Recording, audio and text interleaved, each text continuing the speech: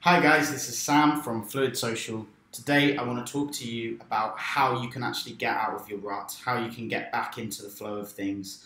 And this is really important because this is something that I've been going through recently.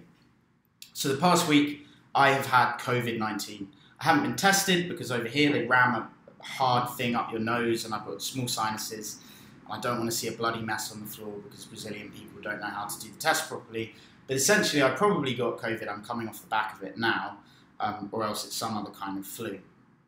And what I found as the, the last sort of three days I've been recovering, I've been getting a bit better, is that I've been trying to force myself back out, right? I've been trying to get back out into the swing of things, back approaching, back being active, doing sport, hitting the gym, everything that I was doing before. I was in quite a good flow of life before, and now I've sort of come out of this and I've maybe lost my routine. I haven't been going to the gym because I've been sick. I found myself getting irritated by things that I wasn't before. I haven't been meditating, I haven't been doing my stretching, I've lost my routine.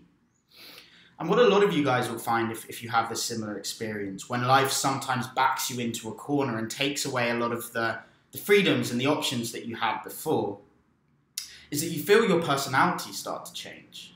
Because after all, our personality is dependent on the actions we're taking. Our self evaluation, the way we see ourselves, is based on how we see ourselves to be pursuing and successfully attaining the goals that we set ourselves on a daily basis and the goals that we hold for ourselves in the future as well. And so, as I've been trying to force myself back in, I found myself getting frustrated. I went to the gym yesterday and the day before. I wasn't able to do what I normally would. I saw a pretty girl on the beach and I was feeling under the weather and I wasn't able to approach her. I mean, not to mention the fact that I probably have COVID, so I shouldn't be, right? But we put tremendous pressure on ourselves when we're backed into a corner to be performing as we usually do. And I think the really important thing here to realize is that today's joy is tomorrow's sorrow. Tomorrow's sorrow is, to, is, the, is the, the following day's joy. Essentially, this idea that you've got to be the master of your emotions. You've got to accept that if you're feeling down today and you really are feeling down, it's not down to you. Sometimes you wake up and you do your meditation and it doesn't work. You can't focus. Sometimes you go to the gym and you simply can't do the exercises that you would normally do. Sometimes our hormonal balances change. Sometimes we get sick. Sometimes something happens that is unavoidable. The consequences are unavoidable. And we're backed into a corner. And we feel our, st- our personality start to deteriorate in some ways or at least start to change in a way that we don't necessarily like. Perhaps we regress back into a state that we held years before, a more childlike state. And in these moments, the most important thing to think about, which I don't talk about often, but it is a tool in all of our toolkits, is the stoic process of being the master of your emotions. Understanding that some days are going to be good, some days are going to be bad, you can't necessarily control that. So when things are going badly, you hold in your mind the truth that you know to be true, that on the other side of this upset, on the other side of these problems, is a great well of happiness and peace. And when things are going really well and you start to get ahead of yourself, you know, cold approach is easy, meeting women's easy, having my morning routine is all sorted. I don't need to think about any of this just around the corner, hides obstacles, hides the demons that are going to pounce and, and take you down a notch. They're going to slam straight into that arrogance or that self evaluation that you've now created, and they're going to humble you and they're going to bring you back down. And it's going to be very difficult if you think that everything is static now, if you think that your progress is certain and everything is just an uphill uphill straight line from here. It never is the case. Whenever we get complacent, life buffets us and brings us down. Whenever life is bringing us down and we see no way out, life gives you a leg up. On the other side of joy is sadness. On the other side of sadness is joy. Now, this doesn't have to be depressing, and this isn't to say that if you're happy, you should make yourself sad or denigrate your happiness. No, enjoy it.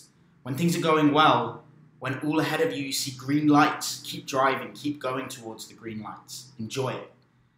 But understand in the back of your mind that the lights are going to turn red at some point. Things are going to get harder. And if you find yourself stopped at red lights, putting out fires, unable to make progress right now for whatever reason, relax into it. Do what you can. Enjoy this time where you're not working so hard, where you have a bit of time to take perspective. Notice yourself getting distracted. Notice yourself becoming that childlike form again. Notice your personality changing. Notice the things that you miss and that you're looking forward to on the other side. Each time we have an up and a down, we have what I think about what I think about as a mini renaissance, mini renaissance. We have an opportunity to rebuild in a different way, to reform habits in a better way than we had them before.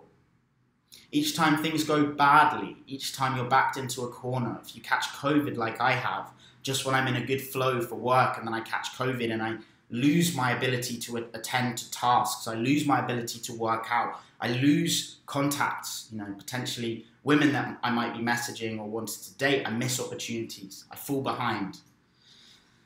Each time this happens, you have an opportunity to respond to whatever's going wrong in a way that considers with more care how you should be responding, in a way that is stronger, in a way that is more versatile, more adaptable, more emotionally intelligent.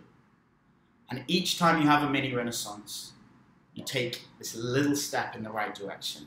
Two steps forward, one step back. Two steps forward, one step back.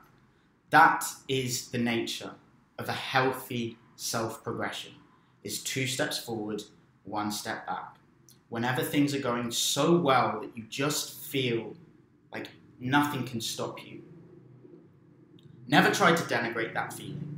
Appreciate it, enjoy it, follow it, work with it, ride the wave, and understand that you're going to take a step back at some point in the future. Understanding this is essentially like understanding your own mortality. When people get in this ecstasy that everything's going well and their life is easy and their life is just going to stay easy for the rest of their life. It's the equivalent of living like you're never going to die, forgetting that you're ever actually going to die. And when you keep in mind that I'm so happy everything is good, but I know that this is going to come to an end, and I'm preparing for that. It's the same as monitoring your emotions. It's the same as bringing that that happiness and that that when life is going so well. It's the same as moderating it to understand that that's not always going to be the case. And instead of this ruining the feeling, actually, what it does is it prolongs it. And it brings a sense of peace, fluidity, stability to whatever emotion you are feeling. It caps the lows so they don't go any lower, and it caps the highs so you don't get carried away and create a deep well of sadness on the other side. This is the key to having that slow but certain progress of two steps forward, one step back. You must monitor the highs, monitor the, the lows, believe and understand that on the end of each high is a low and on the end of each low is a high. Appreciate and work with that pattern of life, and you will continue to flourish. Two steps forward, one step back. So I'm coming out the other side of COVID. I'm feeling better now. I'm getting back out there. I just went to the gym this morning and I'm back to full strength. Um, met a beautiful girl at the gym, went for a little run with her. Um, so we'll see what happens there. But this is what I mean. As soon as I could accept, look, Sam, you're not going to be able to do everything as well as you were. The following day, I'm back to full strength. And when I'm saying, look, you don't have to approach women now. Like you may even have COVID. Don't don't get wrapped up in things that you can't control and things that aren't even going to be helpful for anyone and you accept that, then the opportunities come to you. This is always my experience. When I believe this, when I understand this, when I fully appreciate this, my expectations are rewarded by positive experiences on the other side, such as that which I had today. So I'm sorry for my absence again, guys, but uh, I didn't want to make half-assed videos when I'm not feeling up to full strength and I'm not feeling great, but I'm back now. I'm going to be doing these videos every day again, or at least every couple of days. I'm looking forward to hearing more of your guys' feedback. As always, any questions, jump on a free 30 minute phone call. My Calendly link in the description below the video. Tusk and I will be traveling up to the northeast of Brazil from the 21st of March. And so we're going to be taking some clients in Recife Fortaleza towards the end of March, early April. So, anyone interested in meeting us out there or any other questions, get in contact on the Calendly link below. I look forward to hearing back from some of you guys. Take it easy. Sam out.